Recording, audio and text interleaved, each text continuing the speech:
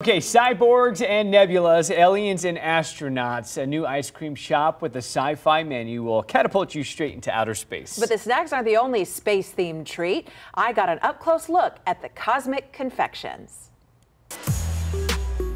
The clouds, the lights, the murals, and so many aliens. That's like so pretty.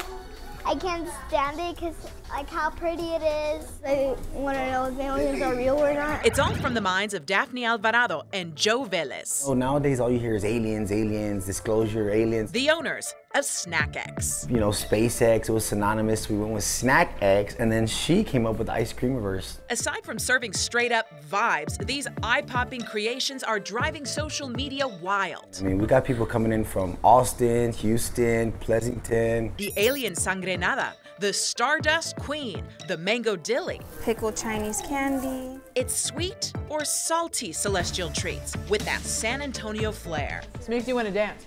Like alien uh, sangrenada. So like, oh, we'll go try that with some pineapples. And then on the nachos, just looks so good, we had to come.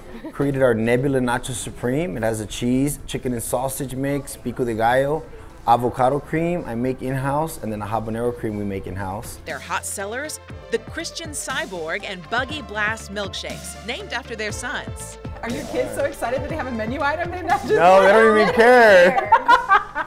I'm like, Buggy, you sold 20 shakes today. He's like, okay. The business off Tezel Road launched in mid-December. You want to try the Blue Monster Bud? We're gonna start implementing bubble waffles, but we're gonna do them in uh, green and, and uh, purple with alien figures that we're gonna make out of chocolate. They're aiming for the summer to open location number two. We're going downtown next. Okay, whose mouth is watering right now? Ryan's, yeah. Well, SNAK-X, you gotta go. They're located at 8104 Tezel Road. That's off Tezel and Guilbeau. They're open Tuesday through Thursday, 1 to 9, and then weekends from 1 to 10. And I wanted to tell you guys, uh, apparently the idea of this cosmic theme, Mm-hmm. it started with how do we want the bathroom to look? And let Oh, me tell whoa. you, the oh, bathroom okay. is an experience in itself. That's all I'm gonna say.